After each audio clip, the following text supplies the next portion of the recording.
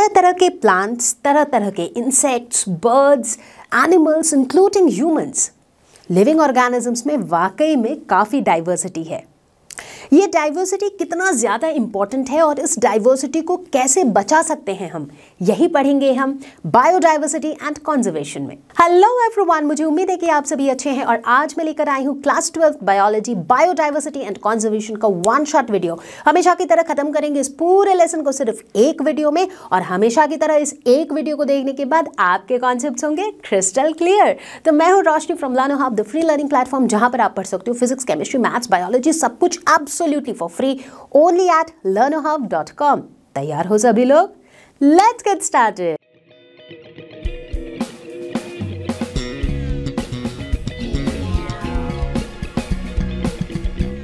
Bio बोले तो life diversity बोले तो वैरायटी यानी कि variety of living organisms existing on earth उसे ही हम कहते हैं बायोडाइवर्सिटी अब बायोडाइवर्सिटी जो है वो कई लेवल में एग्जिस्ट कर सकता है राइट जेनेटिक लेवल पे अगर बायोडाइवर्सिटी एग्जिस्ट करे तो उसे हम कहेंगे जेनेटिक बायोडाइवर्सिटी अगर इकोसिस्टम के लेवल पे एग्जिस्ट करे तो उसे हम कहेंगे इकोलॉजिकल डाइवर्सिटी अगर स्पीशीज़ के लेवल पे एग्जिस्ट करे तो उसे हम कहेंगे स्पीशीज़ बायोडाइवर्सिटी ठीक है तो चलो एक एक करके इन सभी को डिटेल में देखें। सबसे पहले बात करेंगे जेनेटिक डाइवर्सिटी के बारे में। सो जेनेटिक डाइवर्सिटी मतलब अगर ऑर्गेनिजम्स की वैरायटी जेनेटिक डिफरेंसेस की वजह से अराइज हो रही है तो उसे हम कहते हैं जेनेटिक डाइवर्सिटी मतलब हो सकता है कि वो सारे ऑर्गेनिज्म सेम स्पीशीज़ को बिलोंग करते हैं बट स्टिल अगर उनमें डिफरेंसेस हैं, और वो डिफरेंसेस उनके जेनेटिक लेवल पे है उनके जेनेटिक डिफरेंसेस हैं तो वो गिव राइज करते हैं टू जेनेटिक डाइवर्सिटी एग्ज़ाम्पल के तौर पे, अब जैसे मान लो रोज़ है, अब हमें रेड कलर का रोज़ भी दिखता है येलो भी दिखता है ऑरेंज भी दिखता है पिंक भी दिखता है वाइट भी दिखता है right but end of the day है तो सभी रोज़ लेकिन ड्यू टू जेनेटिक डिफरेंसेस ये सारे अलग अलग दिख रहे हैं राइट तो मतलब जो वैरायटी अराइज हो रही है, वो जेनेटिक डिफरेंसेस की वजह से हो रही है। क्या आपको पता है कि इंडिया में अगर हम राइस की वैरायटी की बात करें तो मोर देन फिफ्टी थाउज़ेंड पचास हज़ार से भी ज़्यादा genetically different varieties of rice पाए जाते हैं। सोच के देखो, कितना इंटरेस्टिंग है राइट सिमिलरली अगर हम मैंगो की बात करें मैंगो सभी खाते हो गर्मियों की सीज़न में तो भाई आम खाने का मज़ा ही कुछ और होता है। तो मैंगो के भी लगभग वन थाउज़ेंड के ऊपर डिफरेंट जेनेटिक वेराइटीज़ पाए जाते हैं सिर्फ़ इंडिया में राइट तो इसका मतलब है एक ही स्पीशीज़ के अंदर भी बहुत सारे वेराइटीज़ पाए जाते हैं। क्यों पाए जाते हैं? Because differences in genetic genetic level पे डिफरेंसेस होने की वजह से उनका अपियरेंस या फिर उनकी प्रॉपर्टीज़ एग्जैक्टली सेम नहीं होती हैं। अगला है स्पीशीज़ डाइवर्सिटी स्पीशीज़ डाइवर्सिटी नाम से पता चल रहा है स्पीशीज़ की वैरायटी मतलब अब हम स्पीशीज़ लेवल पे आ चुके हैं। किसी भी एक पर्टिकुलर लोकेशन में कितने नंबर ऑफ़ स्पीशीज़ पाए जाते हैं राइट स्पीशीज़ अब ऑब्वियसली स्पीशीज़ क्या होता है? जो भी ऑर्गेनिजम्स इंटरब्रीड कर सकते हैं मेट कर सकते हैं, वो सारे एक स्पीशीज़ को बिलोंग करते हैं राइट तो ज़ाहिर सी बात है कि अगर दो ऑर्गेनिज्म दो डिफरेंट स्पीशीज़ को बिलोंग करते हैं तो वो एक दूसरे से अलग ही होंगे। है कि नहीं? वो एक दूसरे से इनफैक्ट काफ़ी अलग होंगे। ठीक है? तो अब स्पीशीज़ डाइवर्सिटी की जब हम बात करते हैं, बोलने का मतलब है कि किसी भी एरिया में कितनी वैरायटी ऑफ़ स्पीशीज़ है। कितने नंबर ऑफ़ स्पीशीज़ कितने नंबर ऑफ़ अलग अलग स्पीशीज़ एग्जिस्ट करते हैं, वो बताता है स्पीशीज़ डाइवर्सिटी ठीक है? अब स्पीशीज़ बोले तो पूरे लिविंग ऑर्गेनिजम्स में, चाहे वो इंसेक्ट्स हो, चाहे वो फिशेस हो, चाहे वो ह्यूमंस हो, चाहे वो कुछ भी हो एनी लिविंग ऑर्गेनिज्म चाहे वो फंगाई हो, चाहे वो कुछ भी हो, ऐसा भी देखा गया है कि जो स्पीशीज़ की डाइवर्सिटी होती है, वो अलग अलग जोग्राफिकल लोकेशन पे अलग अलग होती है। जैसे अगर हम एम्फीबियन स्पीशीज़ की बात करें तो हम देखते हैं कि एम्फीबियन स्पीशीज़ की जो वैरायटी है, जो डाइवर्सिटी है, वो वेस्टर्न घाट्स में काफ़ी ज़्यादा है compare to Eastern Ghats. Right? तो ऐसा नहीं है कि भाई एम्फीबियन स्पीशीज़ की डाइवर्सिटी अगर ज़्यादा है तो सब जगह ज़्यादा होगी नो नॉट नेसेसरी क्योंकि ज़ाहिर सी बात है ना भाई, क्योंकि वो जो पर्टिकुलर स्पीशीज़ हैं, उनको सर्वाइव करने के लिए, उनको रिप्रोड्यूस करने के लिए एक पर्टिकुलर काइंड ऑफ़ एनवायरनमेंट चाहिए। तो जहाँ पर उनको वो ज़्यादा सूटेबल एनवायरनमेंट मिलता है, वहाँ पर उनकी संख्या उतनी बढ़ जाती है right that is one thing secondly कुछ कुछ जगह का एनवायरनमेंट क्लाइमेट ऐसा होता है कि वहाँ पर यू नो ज़्यादा नंबर ऑफ़ स्पीशीज़ साथ में एग्जिस्ट कर पाते हैं राइट right? तो ये होता है स्पीशीज़ डाइवर्सिटी स्पीशीज़ डाइवर्सिटी का मतलब क्या हुआ कि कितना वैरायटी है स्पीशीज़ का? कितने नंबर ऑफ़ स्पीशीज़ एग्जिस्ट करते हैं एट अ पर्टिकुलर लोकेशन तो अगला है इकोलॉजिकल डाइवर्सिटी इकोलॉजिकल डाइवर्सिटी मतलब variety of living organisms at ecosystem level ecosystem level पे कितनी वैरायटी है? मतलब अगर हम अगेन इंडिया की ही बात करें तो इंडिया में बहुत वैरायटी ऑफ़ इकोसिस्टम्स पाए जाते हैं। इंडिया में ट्रॉपिकल रेन फॉरेस्ट्स भी हैं इंडिया में डिजर्ट्स भी हैं इंडिया में एस्चुरीज भी हैं इंडिया में अल्पाइन मीडोज भी है तो इंडिया में यू you नो know, बहुत वैरायटी ऑफ़ इकोसिस्टम्स पाए जाते हैं। अगर हम स्पेशली से कंपेयर करें किसी दूसरी कंट्री के साथ फॉर एग्ज़ाम्पल नॉर्वे जैसी कंट्री के साथ अगर कंपेयर करें तो इंडिया में इकोसिस्टम की वैरायटी बहुत ज़्यादा है। अब ज़ाहिर सी बात है कि अगर इकोसिस्टम की वैरायटी ही बहुत ज़्यादा है तो लिविंग ऑर्गेनिजम्स की वैरायटी तो ज़्यादा होगी ही ना, क्योंकि डेजर्ट के इकोसिस्टम में अलग तरह के ऑर्गेनिजम्स पाए जाएँगे। रेन फॉरेस्ट के इकोसिस्टम में अलग तरह के ऑर्गेनिजम्स पाए जाएँगे। एस्चुअरीज में अलग तरह के ऑर्गेनिजम्स पाए जाएँगे राइट तो ऑब्वियसली अगर इकोसिस्टम की वैरायटी ही बहुत ज़्यादा है तो ऑर्गेनिजम्स की वैरायटी भी बहुत ज़्यादा होगी। बात समझ में आई? ओके तो कुल मिला के बच्चों, हमने क्या समझा कि लिविंग ऑर्गेनिजम्स की वैरायटी कितनी है? ये अलग अलग लेवल पे हो सकती है। अगर हम इसे इकोसिस्टम लेवल पे बात करें कि भाई कितने वैरायटी ऑफ़ इकोसिस्टम है तो वो हो गया इकोलॉजिकल डाइवर्सिटी अगर हम इसे स्पीशीज़ लेवल पे बात करें कि भाई कितने अलग अलग स्पीशीज़ हैं दैट इज़ स्पीशीज़ डाइवर्सिटी अगर हम इसकी बात कर रहे हैं जेनेटिक लेवल पर कि भाई जेनेटिक डिफरेंसेस की वजह से कितनी वैराइटीज़ हैं तो वो हो गया जेनेटिक डाइवर्सिटी तो बच्चों, ये तो समझ में आ गया कि बायोडाइव डाइवर्सिटी क्या होता है और ये किस किस लेवल पे एग्जिस्ट करता है? अब अगला सवाल ये आता है कि मैम हम बायोडाइवर्सिटी और इसके कंजर्वेशन के बारे में पढ़ ही क्यों रहे हैं? ऑब्वियसली अगर हम कह रहे हैं कि भाई बायोडाइवर्सिटी को कंजर्व करना है प्रोटेक्ट करके रखना है, इसका मतलब तो यही है कि बायोडाइवर्सिटी का कुछ तो इंपॉर्टेंस है। बिल्कुल है। तो अभी बच्चों, यही देखेंगे हम कि बायोडाइवर्सिटी इतनी वैरायटी ऑफ़ लिविंग ऑर्गेनिजम्स का होना इंपॉर्टेंट क्यों है? तो सबसे पहला इंपॉर्टेंस है it maintains the ecological stability जब हमारे पास इतने वैरायटी ऑफ़ ऑर्गेनिजम्स होते हैं ना तो उससे कहीं ना कहीं हमारा इकोसिस्टम स्टेबल रहता है। कुछ ही टाइम पहले आपने इकोसिस्टम का वीडियो देखा होगा। उसमें हमने पढ़ा था फ़ूड चेन फ़ूड वेब के बारे में। उसमें हमने क्या देखा था कि ऑर्गेनिजम्स जो है, वो एक दूसरे पे डिपेंडेंट होते हैं अपने फ़ूड के लिए, अपने सर्वाइवल के लिए राइट तो अब आप खुद सोच के देखो कि सिंपल से फ़ूड चेन में अगर एक ऑर्गेनिज्म गायब हो जाए तो क्या हो सकता है? वो ऑर्गेनिज्म जिस ऑर्गेनिज्म का खाना था, उसको दिक्कत आएगी, क्योंकि उसको भूखे मरना पड़ेगा। वो ऑर्गेनिज्म जिस ऑर्गेनिज्म को खाता था उसके साथ ये दिक्कत आएगी कि उसका नंबर बहुत ज़्यादा बढ़ जाएगा हमारे इकोसिस्टम में तो हमारे इकोसिस्टम का बैलेंस बिगड़ जाएगा। करेक्ट तो इसीलिए जितनी ज़्यादा वैरायटी ऑफ़ लिविंग ऑर्गेनिजम्स हैं, उतनी ज़्यादा स्टेबिलिटी है। मतलब जैसे मान लो, अगर हम एक फ़ूड चेन के बारे में मत सोचो रियलिटी में क्या है? बहुत सारे इंटरलिंक्ड फ़ूड चेन्स हैं राइट तो जैसे मान लो फॉर एग्जांपल प्लांट्स हैं। प्लांट्स को खाने वाले बहुत से एनिमल्स हैं। सिर्फ़ अकेला काव नहीं है। काव है तो गोट भी है तो डियर भी है, ऐसे बहुत सारे ऑर्गेनिजम्स हैं। राइट? ताकि एक ऑर्गेनिज्म के नंबर कम हो जाने पे भी हमारे ओवरऑल इकोसिस्टम का बैलेंस उतना ना बिगड़े। तो बोलने का मतलब है कि जितने ज़्यादा वैरायटी ऑफ़ ऑर्गेनिजम्स होंगे, उतना ज़्यादा हमारा ओवरऑल इकोसिस्टम स्टेबल रहेगा और ये बायोडाइवर्सिटी का सबसे पहला इंपॉर्टेंस है। दूसरा इंपॉर्टेंस है, हमें बहुत सारे यूजफुल प्रोडक्ट्स मिलते हैं। प्लांट्स और animals variety of plants variety of animals के बारे में सोचो तो वहाँ से फ़ूड तो डेफिनेटली मिलता है। इसके अलावा फाइबर्स मिलते हैं, बहुत तरह के ऑयल्स मिलते हैं लैटेक्स मिलता है। तो इस तरह के बहुत सारे यूजफुल चीज़ें हमें मिलती हैं बायोडाइवर्सिटी से। तीसरा importance it is a source of economic wealth अगर हम बात करें बायोडाइवर्सिटी की, इतनी वैरायटी ऑफ़ ऑर्गेनिजम्स होने की वजह से, हम देखते हैं वाइल्ड लाइफ सेंचुरीज एग्जिस्ट करती हैं नेशनल पार्क्स एग्जिस्ट करते हैं, और ये सारे क्या हैं? सोर्स ऑफ़ इकोनॉमी ही तो है। ये जो सारे national parks wildlife sanctuary I am pretty sure अगर आप कभी टूरिज़्म पे गए होगे तो आप बंडीपुर नेशनल पार्क जो कर्नाटका में है, शायद आपने देखा हो। इसी तरह के बहुत से national park Gir national park जहाँ पर बहुत सारे लायंस देखने को मिलते हैं गुजरात में। तो इस तरह के बहुत सारे नेशनल पार्क्स और वाइल्ड लाइफ सेंचुरीज एग्जिस्ट करते हैं which is a great source of economy as well right तो इस तरीके से बच्चों, हम देखते हैं कि बायोडाइवर्सिटी हमारे लिए बहुत इंपॉर्टेंट है। क्योंकि इनको ख़त्म करना बहुत ईजी है एज ह्यूमंस एनिमल्स को आप मारने लग जाओ तो आप ख़त्म कर सकते हो बट क्या आप उनको क्रिएट कर सकते हो?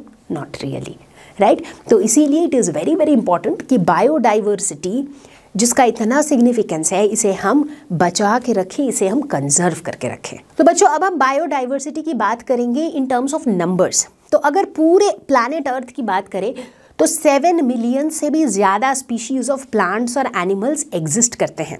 ठीक है सेवन मिलियन से भी ज़्यादा। और अगर हमें कंपेरेटिव डेटा देखें ऑफ़ प्लांट्स एंड एनिमल्स तो हम देखते हैं इसमें से सेवेंटी परसेंट से भी ज़्यादा एनिमल्स हैं। अब एनिमल्स के अंदर मतलब प्लांट और एनिमल ये जो ब्रॉड क्लासिफिकेशन है, इसमें एनिमल्स के अंदर इंसेक्ट्स वगैरह सब कुछ आता है। माइक्रो ऑर्गेनिजम्स इंसेक्ट्स ह्यूमन सब कुछ आता है। तो एनिमल्स सेवेंटी परसेंट से भी ज़्यादा है और प्लांट्स केवल ट्वेंटी टू परसेंट के आसपास हैं राइट तो अगर हम इन टर्म्स ऑफ़ नंबर्स बात करें तो एनिमल्स की जो संख्या है, वो काफ़ी ज़्यादा है व्हेन कंपेयर टू प्लांट्स तो अब बायोडाइवर्सिटी में भी अगर हम एनिमल्स के बायोडाइवर्सिटी की नंबर्स की बात करें तो देखो एनिमल्स में अगेन दो ब्रॉड कैटेगरीज हैं इनवर्टिब्रेट्स एंड वर्टिब्रेट्स तो इनवर्टिब्रेट्स में बच्चों, कुछ ऐसा सा पाई चार्ट बनता है। तो क्या आप बता सकते हो कि ये जो ब्लू कलर है, जो कि ऑलमोस्ट 75 परसेंट जगह घेर रहा है, ये 75 परसेंट कौन से इन्वर्टिब्रेट्स घेर रहे हैं? They are nothing but the insects yes तो इनवर्टिब्रेट्स में जो वैरायटी है 75 percent of the diversity is from insects insects की वैरायटी इतनी ज़्यादा है। उसके बाद का जो बचा हुआ पोर्शन है, जहाँ पे थोड़े थोड़े अलग कलर्स दिख रहे हैं that is occupied by mollusc crustaceans and others ठीक है? ठीक उसी तरीके से अब हम बात करेंगे वर्टिब्रेट्स की। तो वर्टिब्रेट्स का पाई चार्ट अगर आप देखो तो यहाँ पर 50 परसेंट जो है दैट इज़ ब्लू यानी कि 50 परसेंट डाइवर्सिटी वर्टिब्रेट्स में कौन ऑक्यूपाई करता है? गैस करो, कौन करता है? Guess guess guess guess guess fishes fishes करते हैं ऑलमोस्ट फिफ्टी इतनी वैरायटी ऑफ़ फिशेस पाई जाती है. पूरे अर्थ में इतने सारे वैरायटी ऑफ़ फिशेस हैं कि वर्टिब्रेट्स की जो पूरी बायोडाइवर्सिटी है, उसका आधा कंट्रीब्यूट करते हैं फिशेस और जो बाकी बचा हुआ पोर्शन है, उसमें फॉल करते हैं reptiles amphibians mammals and birds ठीक, इसी तरीके से बात करते हैं biodiversity in case of plants तो प्लांट्स का प्राई चार्ट कुछ ऐसा है जिसमें दो बड़े बड़े चंक हैं. मतलब दो ऐसे मेजॉरिटी कॉन्ट्रीब्यूटर्स हैं और पता है ये दोनों कौन है? एक तो आप फट से गेस कर लोगे. Whenever we talk about plants कौन से प्लांट्स दिमाग में सबसे ज़्यादा आते हैं, ज़्यादा दिखते हैं? Flowering plants exactly that is angiosperms तो ये एक पोर्शन एंजियोस्पर्म्स का है और दूसरा जो पोर्शन है दैट इज़ फंगाई इसके अलावा जो बाकी सारे पोर्शन है, उसमें आते हैं फर्न्स उसमें आते हैं मॉसिस उसमें आते हैं, उसमें आते हैं एल्गी उसमें आते हैं लाइकन तो ये सारे जो है, बाकी पोर्शन को कवर करते हैं. तो बच्चों ग्लोबल बायोडाइवर्सिटी तो हमने देख ली.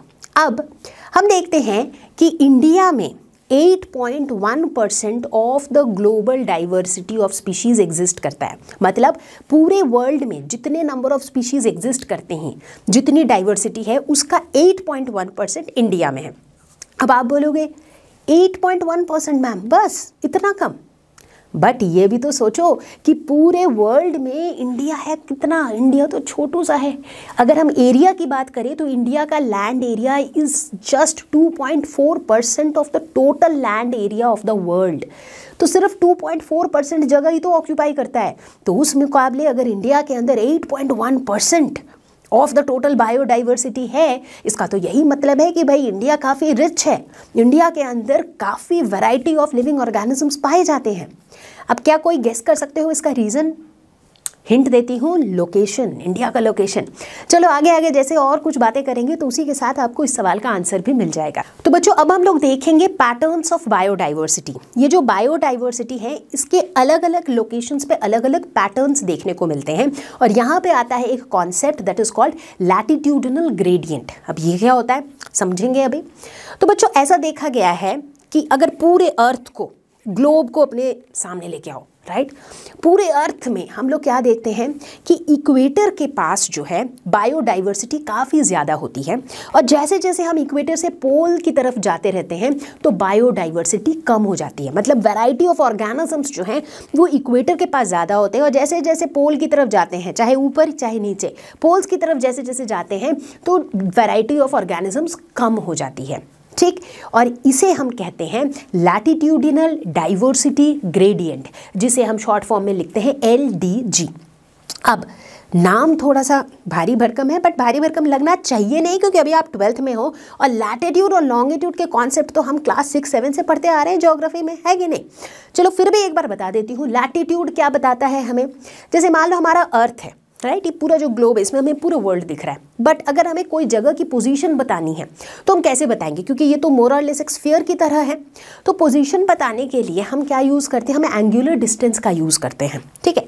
तो ये अगर मेरा पूरा अर्थ है, इसके बीच में एक हॉरिजॉन्टल रिंग सी बनी हुई है, जिसे हम कहते हैं इक्वेटर अब इक्वेटर से नॉर्थ या साउथ कोई भी जो जगह लोकेटेड है, उसके पोजीशन को हम कैसे बताएँगे? कि भाई उसकी angular distance with respect to the equator इधर नॉर्थ और साउथ ठीक है?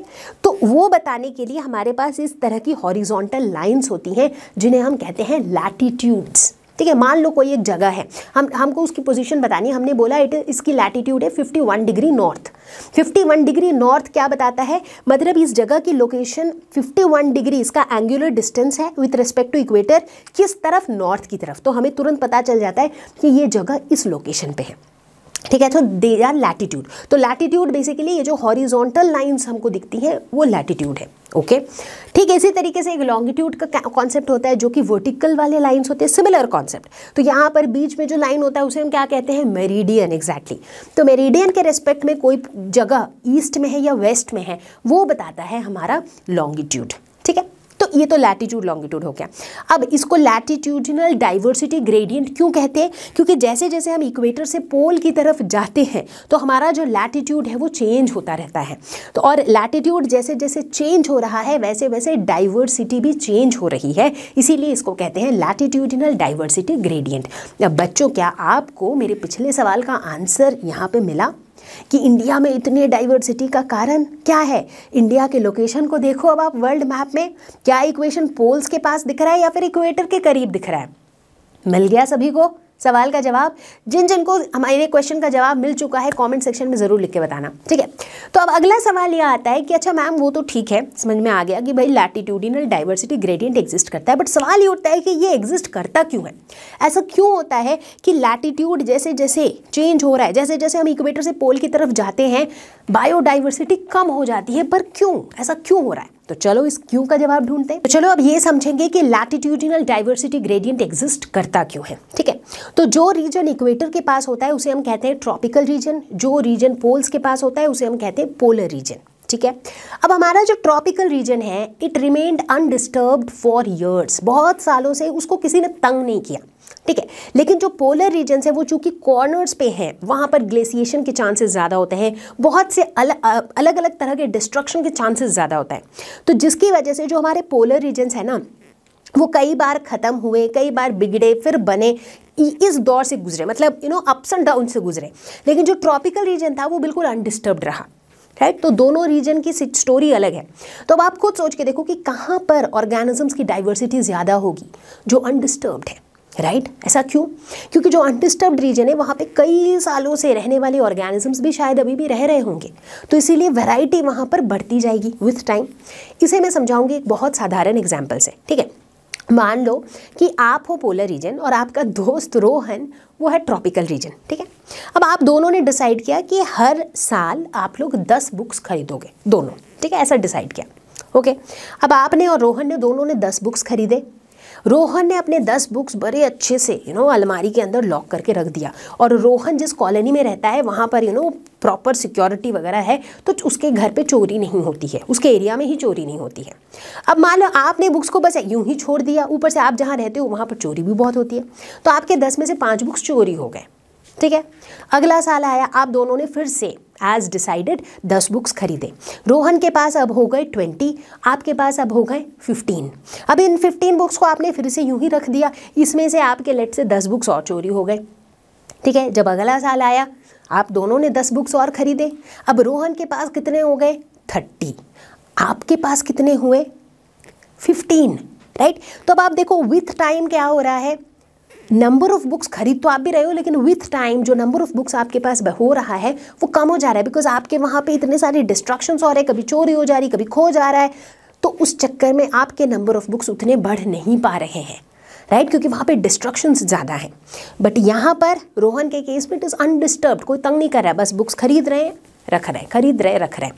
तो कुछ ऐसी ही कहानी है ट्रॉपिकल रीजन की, ठीक है? तो ये पॉइंट नंबर वन दूसरा point suitable environment obviously environment plays a critical role अब जैसा कि आप देख ही रहे हो पूरे अर्थ में जो रीजन इक्वेटर के पास है, वहाँ पर सनलाइट की अवेलेबिलिटी भी ज़्यादा है बिकॉज़ सन और अर्थ के पोजीशन को आप देखो, यहाँ पर सनलाइट की अवेलेबिलिटी ज़्यादा है तो ऑब्वियसली यहाँ का इन्वायरमेंट भी अलग है। तो इन्वायरमेंट अलग होने की वजह से भी बहुत सारे ऑर्गेनिजम्स हैं जिनका सस्टेन करना पॉसिबल हो पाता है। दूसरी तरफ़ पोलर रीजन्स में सनलाइट बहुत लिमिटेड है एनवायरनमेंट भी अलग है तो बहुत से ऑर्गेनिजम्स वहाँ पर सर्वाइव नहीं भी कर पाते हैं। ठीक है? तो ये कुछ रीज़न है जिसकी वजह से लैटिट्यूडिनल डाइवर्सिटी ग्रेडियंट एग्जिस्ट करता है। वैसे बच्चों, चूँकि हम इस टॉपिक पे बात करें, क्या आपको पता है कि पूरे अर्थ में कौन सा वो रीजन है जहाँ पर सबसे ज़्यादा बायोडाइवर्सिटी देखने को मिलती है?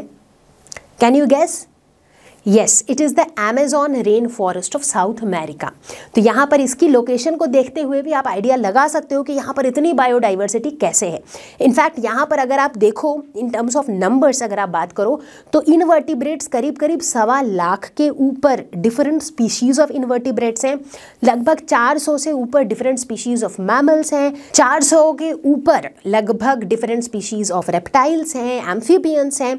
इसके अलावा 3000 स्पीशीज ऑफ़ फिशेस हैं on top of that more than 40,000 species of plants हैं तो जस्ट इमेजिन कितने सारे variety of species of plants and animals Amazon rain forest में रहता है। तो प्यारे बच्चों अब हम लोग देखेंगे स्पीशीज एरिया रिलेशनशिप कि किस तरीके से एरिया और स्पीशीज के बीच में एक रिलेशनशिप एग्जिस्ट करता है।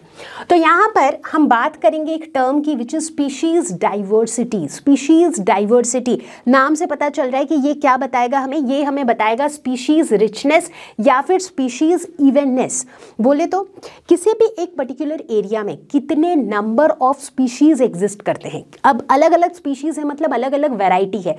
तो बेसिकली स्पीशीज की कितनी वेराइटी है, उसको हम कहते हैं स्पीशीज रिचनेस या फिर स्पीशीज डाइवर्सिटी एंड इंटरेस्टिंगली ऐसा देखा गया है कि एरिया और स्पीशीज रिचनेस में एक डायरेक्ट प्रोपोर्शनैलिटी एग्जिस्ट करता है।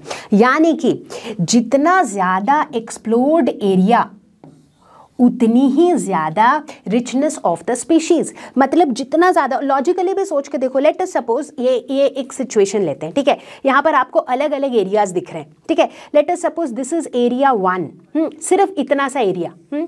अगर हम सिर्फ़ इतने एरिया को एक्सप्लोर करते हैं, सिर्फ़ इतने एरिया में ही हम ढूंढते हैं कि भाई कितने नंबर ऑफ़ स्पीशीज़ हैं तो लेटस से कि हमें यहाँ पर दस स्पीशीज़ मिल गए। एक सिंपल एग्ज़ाम्पल ले रही हूँ। अब जैसे ही आप एरिया बढ़ाते जाओगे, जितना एरिया ज़्यादा आप एक्सप्लोर कर रहे हो, उतने ही आपको नंबर ऑफ़ स्पीशीज़ मिलने के चांसेस बढ़ते चले जाएँगे राइट तो उसका मतलब स्पीशीज़ का और एक्सप्लोर्ड एरिया का एक रिलेशनशिप है। तो हमारे इकोलॉजिस्ट्स ने कहा कि भाई स्पीशीज और एरिया के बीच का जो एग्जैक्ट मैथमेटिकल रिलेशनशिप है, वो कुछ ऐसा है।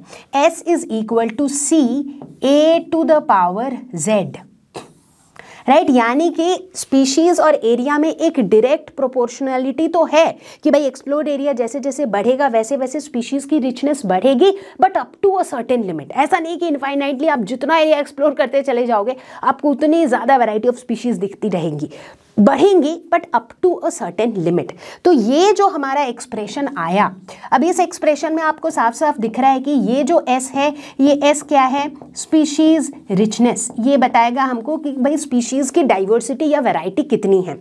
यहाँ पर जो ए है of course this A is for area but दिमाग में सवाल आता है कि मैम फिर ये जो सी है और ये जो जेड है, ये क्या है? अब इनको समझने के लिए हमें इसका देखना पड़ेगा ग्राफिकल रिप्रेजेंटेशन जो कि हम अभी देखेंगे और डिटेल में समझेंगे। अब, इसी एक्सप्रेशन से, ये एक्सप्रेशन जो हमारे इकोलॉजिस्ट्स ने बताया, इसी एक्सप्रेशन का एक दूसरा लॉग फॉर्मेट ये है। अब ये इसमें से कैसे आया? सिंपल है, दोनों तरफ़ अगर आप लॉग ले लो तो इधर क्या हो जाएगा? लॉग ऑफ़ एस इधर क्या हो जाएगा? Log C plus Z log A right? Log of A to the power Z क्या हो जाएगा? जेड लॉग ए तो वहाँ से हमारे पास ये रिलेशनशिप आ जाएगा, ठीक है? तो ये हमें बताता है स्पीशीज एरिया रिलेशनशिप तो चलो अब फटाफट से इसको ग्राफिकली देखते हैं। तो चलो भाई, अब हम स्पीशीज एरिया रिलेशनशिप्स को ग्राफ के फॉर्मेट में देखते हैं, ठीक है? अभी अभी मैंने एक एक्सप्रेशन बताया था, और एक्सप्रेशन क्या था? कि species richness is equal to C A to the power Z ठीक है, ये बताया था मैंने जहाँ पर एस है स्पीशीज रिचनेस जिसको मैंने वाई एक्सिस में ले लिया है और ए है एरिया जिसको मैंने एक्स एक्सिस के अलॉन्ग ले लिया है। अब जब इसी रिलेशनशिप को मैं ग्राफ के तौर पे प्लॉट करूँगी तो वो कैसा दिखेगा? वो कुछ कुछ ऐसा रहेगा। ठीक है? तो यहाँ पर हम क्या देख रहे हैं? जैसे जैसे एरिया बढ़ रहा है वैसे वैसे हमारी स्पीशीज़ की रिचनेस भी बढ़ रही है but up to a certain limit जैसा कि मैंने पहले भी बताया था कि एरिया एक्सप्लोर्ड एरिया बढ़ेगा स्पीशीज़ रिचनेस बढ़ेगी but up to a certain limit ठीक है? तो ये ग्राफ यहाँ से समझ में आ रहा है। ग्रेट अब हम इसका लॉग फॉर्म देखेंगे, जो कि जो कि भी हमने अभी थोड़ी देर पहले देखा था बट उसको भी ग्राफिकली देखेंगे अभी, ठीक है? तो अगर हम इसका लॉग फॉर्मेट लिखते हैं तो क्या हो जाएगा? इधर हो जाएगा लॉग ऑफ़ एस इस तरफ़ हो गया लॉग ऑफ़ एस इस तरफ़ हो जाएगा log of C plus Z log of A ये हो जाएगा हमारा लॉग फॉर्मेट ठीक है? अब बड़े ध्यान से इस लॉग फॉर्म के इक्वेशन को हमें देखना है, क्योंकि हमें इसको भी प्लॉट करना है। ठीक है? अच्छा इस इक्वेशन को अगर बड़े ध्यान से देखो तो ये कुछ कुछ हमें ये वाली इक्वेशन की याद दिलाती है। Y is equal to M X plus C और ये किस चीज़ का इक्वेशन होता है? Y is equal to M X plus C is an equation of a straight line exactly तो बोलने का मतलब ये हो गया कि अगर हम log s और log a के बीच में ग्राफ बनाएँ, क्योंकि पहला ग्राफ हमने s और a के बीच में बनाया था। अब s और a के बीच में ग्राफ ना बना के, अगर हम ऐसा करें कि हम x एक्सिस में ले लें log ऑफ़ a, और अगर हम y एक्सिस में ले लें log ऑफ़ s, ठीक है? अगर हम ऐसा करें, log ऑफ़ a इधर ले ले, log ऑफ़ s इधर ले ले तो ये log ऑफ़ s मेरा क्या हो गया? Y log ऑफ़ a मेरा क्या हो गया यहाँ पे? एक्स है कि नहीं? और m क्या होता है? M क्या होता है? Y is equal to M X plus C में ये जो m होता है, ये क्या होता है? ये होता है slope of the straight line है कि नहीं? और ये c क्या होता है? Y is equal to M X plus C में c हो जाता है इंटरसेप्ट है कि नहीं? ये सारी बातें तो हमने पढ़ रखी हैं। अब उसी हिसाब से यहाँ पर हम क्या बना लेंगे? एक स्ट्रेट लाइन जो कि ये ग्राफ हमें कह रहा है। ये इक्वेशन हमें कह रहा है कि भाई ये y is equal to M X plus C format में है। यानी कि हम, हमें एक स्ट्रेट लाइन मिलेगा। और ये जो स्ट्रेट लाइन हमें मिला, इस स्ट्रेट लाइन का जो स्लोप है what is slope slope is nothing but tan theta है कि नहीं? मतलब ये जो लाइन है, ये लाइन का स्लोप कितना है? टैन थीटा की वैल्यू कितनी है? जितना ज़्यादा स्लोप होगा लाइन उतना ज़्यादा स्टीप होगा। है कि नहीं? तो यहाँ पर इसकी जो स्लोप है that slope is given by this value z. इसीलिए मैंने पिछली वाली स्लाइड में बोला था कि z और c क्या है, वो मैं थोड़ी देर में बताऊँगी, ठीक है? तो यानी कि हम क्या कह सकते हैं कि ये जो z है, ये z बेसिकली हमें बताता है slope of the straight line जब हम log s और log a के बीच में एक ग्राफ प्लॉट करते हैं तो हमें एक स्ट्रेट लाइन मिलता है और वो स्ट्रेट लाइन की स्टीपनेस कितनी है, उसकी वैल्यू हमें देता है ये z. ठीक है? सी हमें कौन सी वैल्यू देता है? सी हमें इस इंटरसेप्ट की वैल्यू देता है। सी और यहाँ पे c की वैल्यू क्या है? यहाँ पर c की वैल्यू है बच्चों, log c. तो ये जो log c है, ये हमें देता है इंटरसेप्ट की वैल्यू यानी कि इस इंटरसेप्ट की वैल्यू हमें log c देता है। इस c के साथ इस c को कंफ्यूज मत कर देना। ये हमारा y is equal to M X plus C जो standard equation of straight line होता है, उसका c है। यहाँ पर इस इक्वेशन में c की वैल्यू क्या है? Log c. है ना? तो ये log c हमें इंटरसेप्ट देता है। ठीक है? तो अब ग्राफिकली ये पूरा इक्वेशन समझ में आ गया, इसीलिए जब आप अपनी एनसीईआरटी टेक्स्ट बुक में देखोगे तो आपको दिखेगा कि एक इस तरह की ग्राफ बनी हुई है, साथ ही साथ एक स्ट्रेट लाइन बनी हुई है और वहाँ लिखा हुआ है लॉग लॉग ग्राफ बोलने का मतलब है, जब आप लॉग एस और लॉग ए के बीच में ग्राफ बनाओगे, तब आपको स्ट्रेट लाइन मिलेगा। ठीक है? तो अब आई थिंक स्पीशीज और एरिया के बीच का जो रिलेशनशिप है, ये बिल्कुल क्रिस्टल क्लियर हो गया होगा। ग्रेट तो अब देखो, इससे हमें पता क्या लगा? इससे हमें ये पता लगा कि कभी कभी जब हमारे पास इंफॉर्मेशन बहुत लिमिटेड होती है बट अगर हमें किसी एक जोग्राफिक लोकेशन में एक्सप्लोर्ड एरिया के बारे में भी अगर आइडिया है तो एटलीस्ट हम एक अंदाज़ा लगा सकते हैं कि वहाँ पर स्पीशीज़ की डाइवर्सिटी कितनी होगी।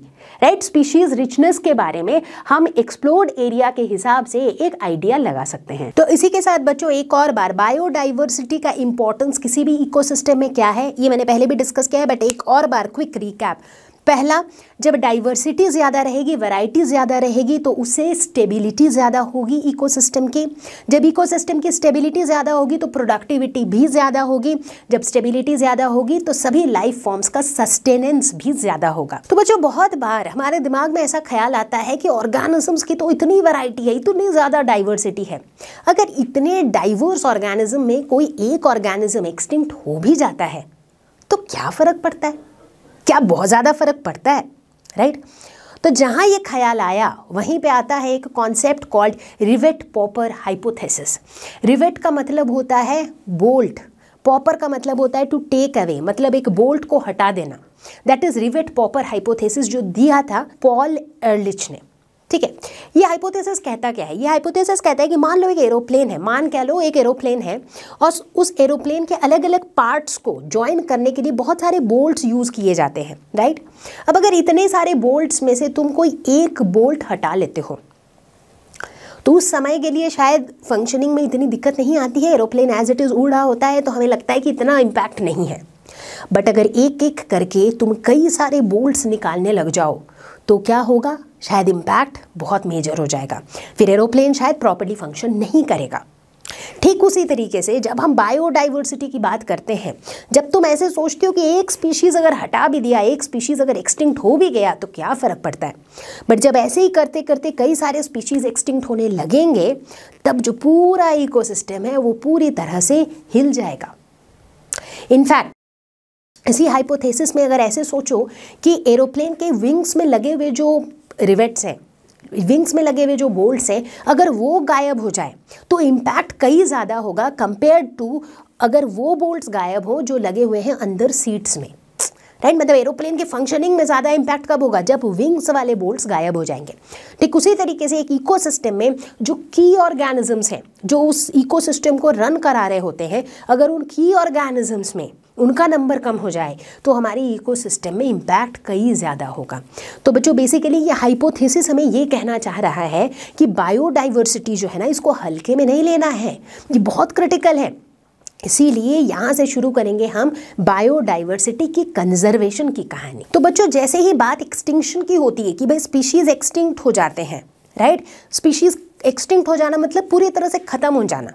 एग्जाम्पल्स डायनासोर इतनी मूवीज़ बनी है डायनासोर पे कि हम सबको पता है कि कभी डायनासोर हुआ करते थे और इतने सारे हुआ करते थे और आज के दिन में वो हैं ही नहीं राइट और ऐसे कई सारे और ऑर्गेनिजम्स हैं, जैसे कि वूली मैमथ हमें आज के दिन में एलिफेंट्स तो दिखते हैं बट ऐसे वूली मैमथ नहीं दिखते क्योंकि ये खत्म हो चुके हैं एक्सटिंक्ट हो चुके हैं। जैसे गोल्डन टोड टोड दिखता है बट गोल्डन टोड नहीं दिखता है। राइट? right? तो इस तरीके से कई ऑर्गेनिजम्स हैं जो पूरी तरह से एक्सटिंक्ट हो चुके हैं। इनफैक्ट जब हम एक्सटिंक्शन की बात करते हैं कि भाई एक्सटिंक्शन ऑर्गेनिज्म का क्यों हो रहा है? बहुत सारे क्लाइमेटिक फैक्टर्स कई बार इन्वॉल्व होते हैं, बहुत सारे नेचुरल फैक्टर्स इन्वॉल्व होते हैं, लेकिन बच्चों एक्सटिंक्शन में ह्यूमन का भी कंट्रोल होता है। अगर आप किसी ऑर्गेनिज्म किसी स्पीशीज़ को ख़त्म करना चाहते हो, इंसान चाहे तो वो तो हंटिंग से ही ख़त्म कर दे आदि स्पीशीज़ है कि नहीं?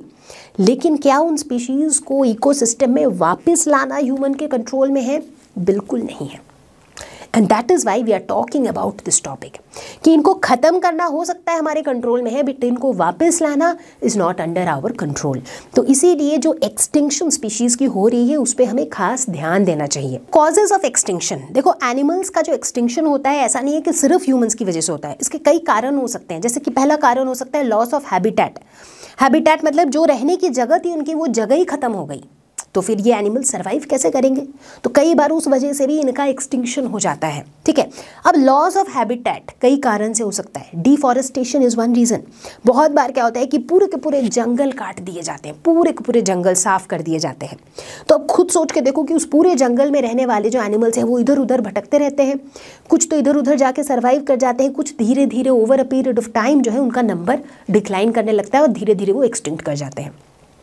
बहुत बार नेचुरल कैलमिटीज़ की वजह से भी इनका हैबिटेट खत्म हो जाता है। Natural calamities could be you know it could be earthquake it could be flood it could be drought it could be any natural calamity जिसकी वजह से इनका हैबिटेट उजड़ गया हो। और जिस वजह से स्पीशीज का एक्सटिंक्शन हो सकता है। Second reason over exploitation by humans human beings जो है ना, ये बड़े अपने दिमाग का यूज़ करके हम हमेशा सोचते रहते हैं कि हम कैसे चीज़ों को अपने फेवर में टर्न करें।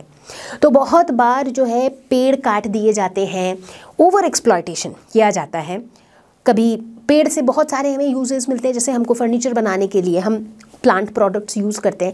इसके अलावा बहुत बार तो पूरे पूरे जंगल काट दिए जाते हैं पूरे पूरे लेक्स को भर दिए जाते हैं और वहाँ पर ह्यूमन सेटलमेंट्स बनाए जाते हैं बिल्डिंग्स खड़ी हो जाती हैं राइट तो ये हम लोग आम तौर पर आजकल कोई भी इंडिया के अंदर जो बड़े बड़े सिटीज़ हैं, चाहे बैंगलोर है, चाहे दिल्ली है, इस तरह की सिटीज़ में हम बहुत जगह देखते हैं कि जहाँ शायद पहले कभी लेक था कुछ सालों पहले, वहाँ पर बड़ी बड़ी बिल्डिंग्स खड़ी हो गई हैं राइट तो अब जब कभी भी ऐसा हो रहा है, जब हम बहुत मैसिव रेंज में एकदम ओवर एक्सप्लॉइट करते हुए जब हम इस तरह के हैबिटेट्स को ख़त्म कर देते हैं तो इन हैबिटेट्स के साथ साथ बहुत सारे ऑर्गेनिजम्स को भी हम ख़त्म कर रहे होते हैं। और इससे आगे चल के बहुत से स्पीशीज़ एक्सटिंक्ट भी हो जाते हैं कई बार। तीसरा कारण हो सकता है इन्वेशन बाई एलियन स्पीशीज़ मतलब एक छोटा सा एग्ज़ाम्पल से समझेंगे। मान मान लो एक तालाब है, जिसमें कुछ मछलियाँ रहती हैं, ठीक है? ये अपना हंसती खेलती रह रही हैं यहाँ पर, बिंदास खुश हैं, ठीक है? अब ये मछलियों का यही घर है, यही पौंड इनका घर है। अब अचानक से बाहर से कहीं से तो not within the pond pound के बाहर से कुछ बड़ी मछलियाँ आ गई और उन्होंने आके इन सारी मछलियों को खा लिया। अब क्या होगा? उस पौंड के इकोसिस्टम की अगर बात करो तो उस पौंड के इकोसिस्टम में ये छोटी मछलियाँ ख़त्म हो गई। ख़त्म हो गई, बिल्कुल ख़त्म हो गई राइट तो कारण क्या था? प्रिडेशन अचानक से बाहर से एलियन स्पीशीज़ आए और उन्होंने इन सबको खा डाला। ख़त्म। That could be a reason कभी कभी कॉम्पिटिशन बिकम्स अ रीज़न इसी एग्ज़ाम्पल को लेते हैं। लेटर सपोज़ ये मछलियाँ यहाँ पर हंसती खेलती रह रही थी। अब क्या हुआ? बाहर से कुछ और बड़ी मछलियाँ आई। ठीक है?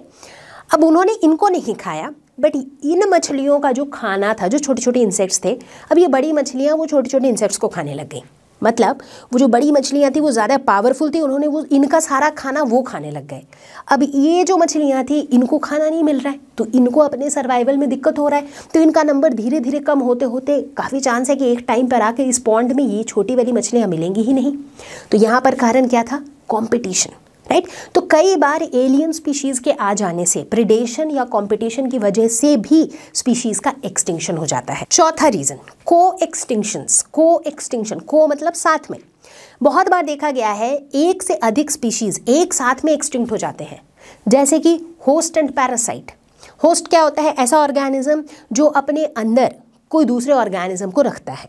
पैरासाइट क्या होता है? जो उस होस्ट के अंदर रह रहा होता है।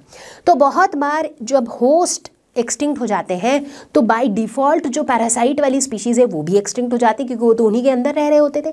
तो इस तरीके से एक नहीं, बल्कि एक से अधिक स्पीशीज़ एक साथ एक्सटिंक्ट हो जाने को हम कहते हैं को एक्सटिंक्शन इतनी सारी बातों के बाद हमें ये तो समझ में आ गया कि भाई बायोडाइवर्सिटी को कंजर्व करना बहुत बहुत बहुत ज़रूरी है।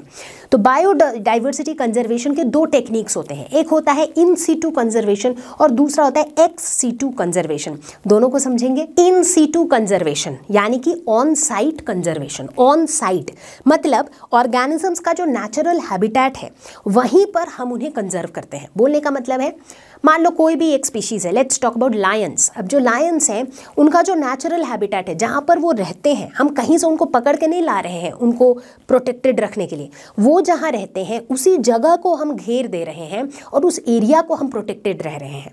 ठीक है? जैसे अगर हम इंडिया की बात करें तो इंडिया में, गुजरात में गिर का नाम सुना होगा आपने। गिर के अंदर बहुत सारे लायंस रहते तो वो उनका नेचुरल हैबिटेट था। हमने उस जगह को घेर दिया और उसको बोल दिया गिर नेशनल पार्क अब उस गिर नेशनल पार्क को हम प्रोटेक्टेड रखते हैं। वहाँ पर हंटिंग अलाउड नहीं है। वहाँ पर किसी भी फॉर्म में एनिमल्स को तंग करना अलाउड नहीं है। तो अब उस एरिया को हमने प्रोटेक्टेड कर दिया है ताकि लायंस वहाँ पे आराम से रह सके, उनका जो नंबर है आराम से धीरे धीरे बढ़ सके। और वो एक्सटिंक्ट ना हो। एक तो इसको हम कहते हैं ऑन साइट कंजर्वेशन मतलब जो एनिमल का नेचुरल हैबिटेट है, हम उसको वहीं रहने देते हैं। हम सिर्फ़ ये इंश्योर करते हैं कि वो जगह प्रोटेक्टेड हो जाए।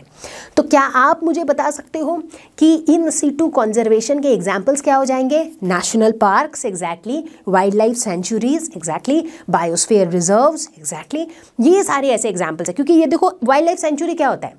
जो नेचुरल हैबिटेट है, जैसे national parks Bandipur national park वो वैसा ही है, वहाँ पे एनिमल्स वैसे ही रहते थे। उसी को हमने नेशनल पार्क उस एरिया को घेर लिया है एज नेशनल पार्क तो उसके अंदर बहुत सारे रिस्ट्रिक्शंस होते हैं।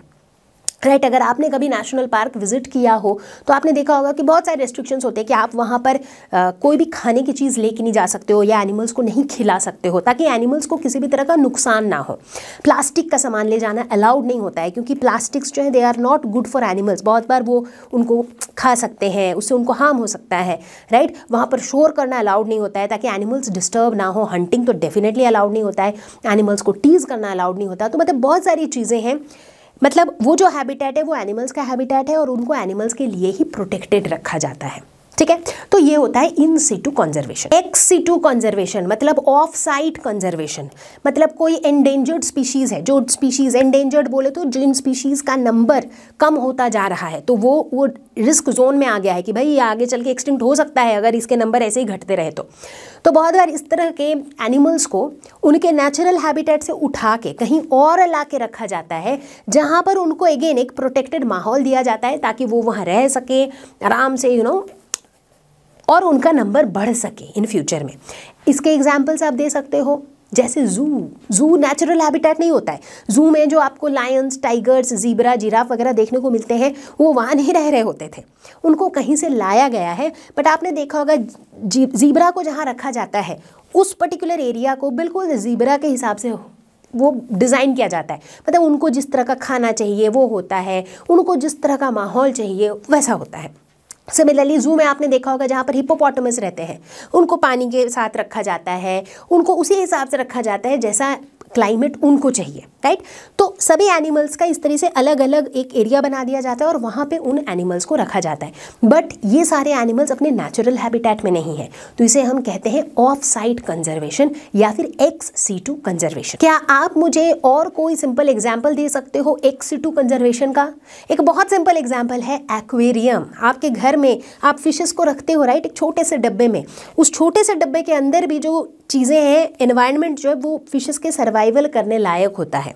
सिमिलरली बोटानिकल गार्डन्स जहाँ पर आप तरह तरह के प्लांट्स देख पाते हो, वहाँ पर भी सेम लॉजिक होता है। तो बच्चा पार्टी, इसी के साथ हम आप पहुँचे इस वीडियो के एंड तक और मुझे पूरी उम्मीद है कि बायोडाइवर्सिटी एंड कंजर्वेशन जो कि अपने आप में एक बहुत ही सिंपल आसान सा चैप्टर था, वो बिल्कुल हो चुका होगा क्रिस्टल क्लियर अगर ऐसा हुआ है तो कॉमेंट में हमेशा की तरह लिख के बताओ कि कॉन्सेप्ट हुआ क्रिस्टल क्लियर मैं आपको बहुत ही जल्द मिलूँगी एक और शानदार वन शॉट वीडियो के साथ। तब तक के लिए stay safe take care bye